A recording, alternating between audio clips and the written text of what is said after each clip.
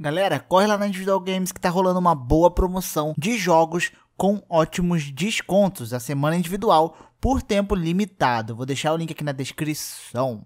Antes de começar o vídeo, eu quero avisar aqui que esse vídeo aqui ele tem cenas fortes, embora não vá mostrar todo o conteúdo do jogo, que é muito forte. Algumas coisas serão mostradas, então pra galera que tem o estômago um pouco mais fraco e não tem a idade recomendada aí do próprio jogo, eu recomendo você não assistir esse vídeo. Então, deixa o seu like aí e pode fechar o vídeo que não tem problema. Se quiser deixar o like aí e comentar aí falando, não assistiu o vídeo, mas deu suporte, pode deixar aí também, ok?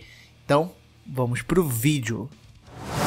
Survival Horror, hoje em dia, quase não aparece muito em grandes produtoras, o que acaba ficando na mão das indies, responsáveis pela maioria dos jogos de terror de qualidade presentes no dia de hoje. E nesse mesmo rumo segue o jogo Agony, que traduzido significa agonia, que havia sido adiado do seu lançamento lá para o dia 30 de março para ser lançado agora no final desse mês, 29 de maio. A produtora Mad Mind possui uma equipe pequena de pessoas para fazer o jogo, porém, pessoas com um bom portfólio que participam da criação de games AAA como The Division e The Witcher. Assim, nasce, ou melhor, para entrar no clima, Agony é parido com muito sangue, cordão umbilical e violência. Embora não seja grande consumidor de títulos de survival horror, pelo simples fato de eu ser um frouxo cagão, Agony chamou minha atenção pelo tema e talvez pela pequena polêmica que envolve esse jogo. O jogo já começa com uma bela frase bíblica mostrando para que ele veio. Vi que a mulher estava embriagada com o sangue dos santos, o sangue das testemunhas de Jesus. Quando a vi, fiquei muito admirado.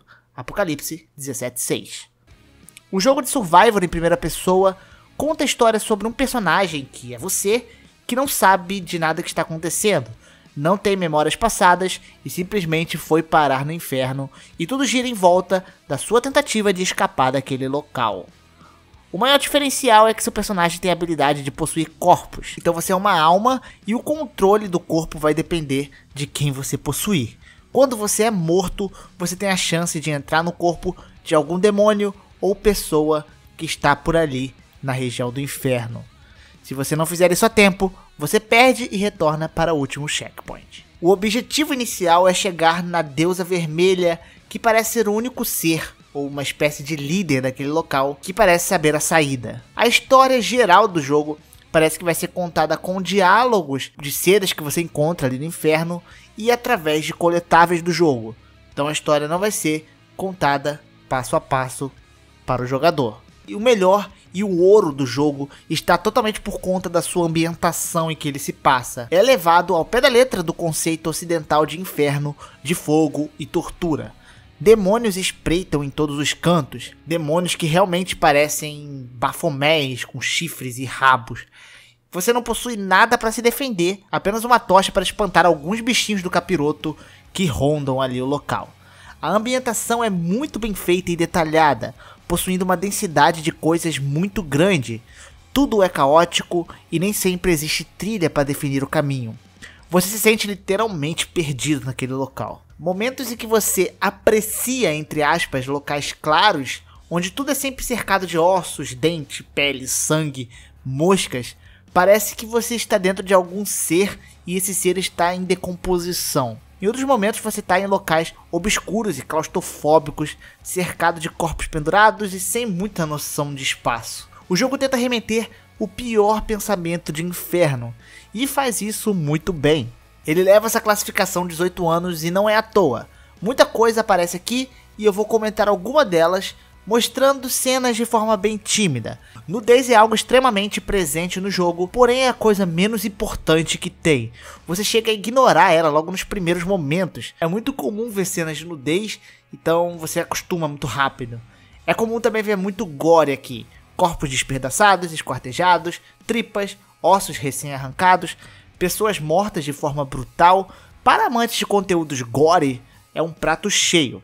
Eu particularmente gostei desse apelo visual, que é o ponto principal para levantar a polêmica e chamar o público. Embora eu não seja um super fã de filmes e jogos de conteúdo violento e gore, é uma coisa que eu consumo muito casualmente. Mas isso não é tudo. Além de toda essa violência, existe coisa muito pior, cara. Acredite, piora.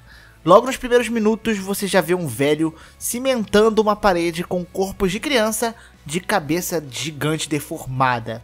A criança é colocada, depois a pedra é colocada sobre ela, esmagando a cabeça e o corpo dela, e isso até a parede ser formada. Também existem bebês com chifre de capeta cortado ao meio sobre mesas de ossos, partes de corpo sendo cozinhadas, mutilação genital, inclusive, é algo muito comum de se ver por aqui também. Uma das cenas que mais chama a atenção nas gameplays é um local onde há uma mulher presa a um teto com seu ventre cortado, onde o cordão umbilical está amarrado no pescoço de um bebê e vários bebês demônios pendurados no telhado, corpo de mulher grávida caído no chão, com um bebê tipo expulso do corpo, Nada mais que um dia normal na casa do capeta. Todas essas cenas e detalhes no cenário, misturado com o caos que é a ambientação, tem um áudio que faz você se arrepiar em certos momentos. Além de murmúrios e lamentações que você ouve o tempo todo, você ouve berros e simplesmente não tem nada ali perto, que dá uma sensação bem louca de aflição. O jogo ele vai possuir mais de um final, porém não se sabe se esses finais serão moldados com escolhas durante o jogo ou se simplesmente serão decididos pelo jogador nos últimos minutos do fim. E as benditas polêmicas. Depois de tudo isso, é óbvio que dá para entender, né, o motivo das certas polêmicas. O jogo ele usa essa artimanha, que inclusive é usada por muitos diretores de filmes, né, para chamar a atenção pela treta e pela polêmica. Devido às políticas de censura de alguns países, existem alguns, como por exemplo a Áustria, que podem ser fortes candidatos a querer censurar esse game. Além disso, tem chance do jogo ser banido dos próprios consoles. Sim. E por que isso acontece? Porque o jogo ele é muito violento, né? E ele possui cenas sexuais nudez muito constante. Não é aquele The Witcher que tem umas cenas picantes e tal, não.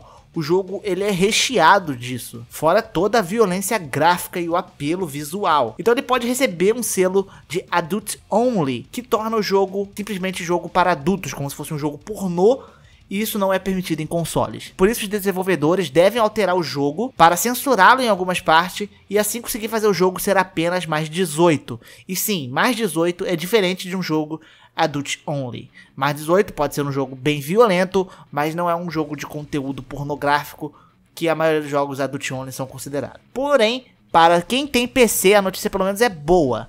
A Steam é um pouco mais frouxa em relação a essa política, né, de adults only e já foi dito para os desenvolvedores que vai adicionar um patch para quem quiser curtir o jogo sem as censuras, tudo cru, do jeito que era para ser feito, né?